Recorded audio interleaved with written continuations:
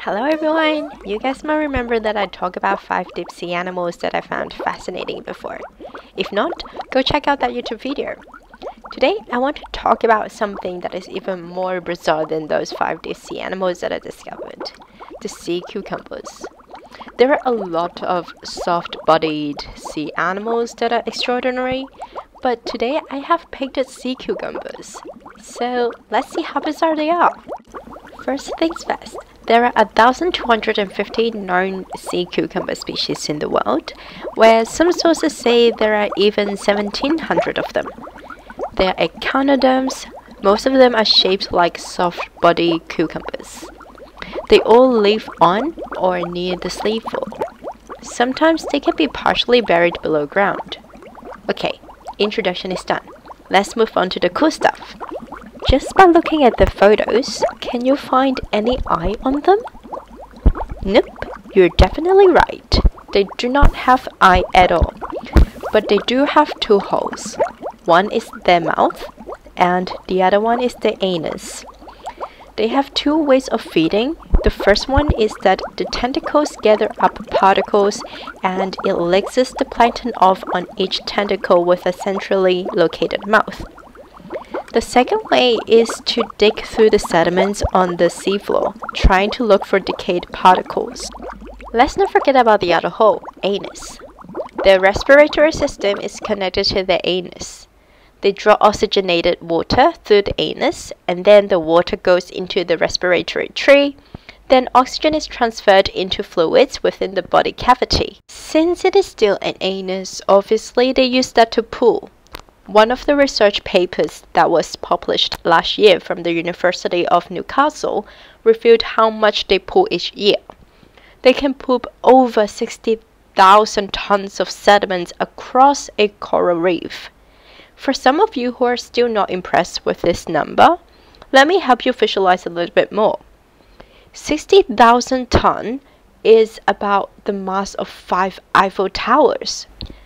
Their poop is much like ours, very nutritious. Our poop is rich in organic matter and is a premium fertilizer for farming.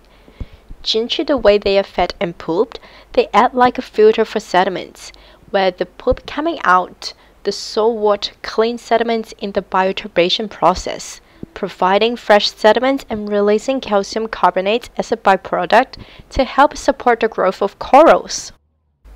Well, they look so boring, just like a normal cucumber, right? And they probably defenseless. If you think about that, then you're wrong. They eject their breathing organs called Cuvierian tubules from their anus to ensnare and entangle predators. But don't worry, the organs will be regenerated within days or weeks. Some can expel poisonous chemicals from the anus again, driving predators away. I find the sticky glue to be more fascinating than the poisonous chemical. What do you think?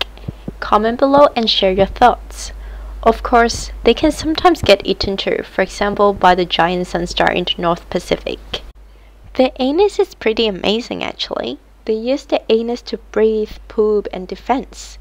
They also are important to other species. The most well-known one is the pearlfish. Pearlfish are eel-shaped fish. They swim through the sea cucumber's anus when they breathe.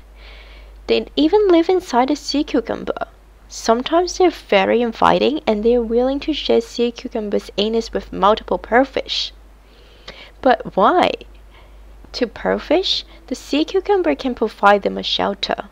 Most of the time, pearlfish are not harmful to sea cucumbers, unless they eat sea cucumbers' internal organs.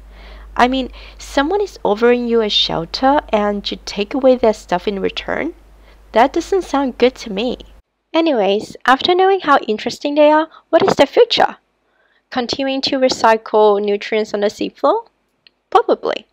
What is happening now is that overfishing for human consumption is posing a threat to them.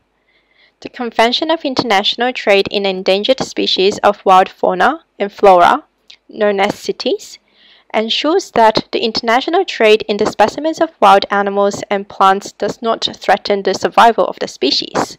They put four species of sea cucumbers on their protective list, including the brown sea cucumber, white teatfish, and black teatfish. Last year, research from the University of Sydney revealed that the global market for sea cucumbers is estimated to be worth over US dollar 200 millions annually. Do we really want to see them disappear? No.